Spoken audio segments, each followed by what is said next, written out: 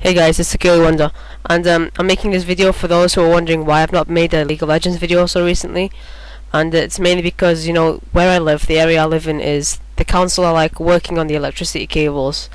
So, you know, the electricity is constantly turning off and on, and so on. Um, which does affect my internet, because obviously my internet is connected to to electricity, so...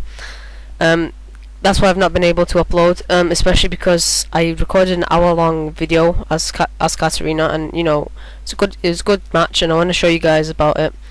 Um, I've been trying to upload that these past few days. I've not been been able to because like halfway through the upload, internet's turned off because of the electricity, unfortunately. So yeah, I'll try to get up as soon as possible. And for those thinking, well, I'm I'm uploading this right now, it's because it's a really short video, and I'll be able to upload it before the internet turns off. Um, so yeah, um, I'm sorry about the delay, guys.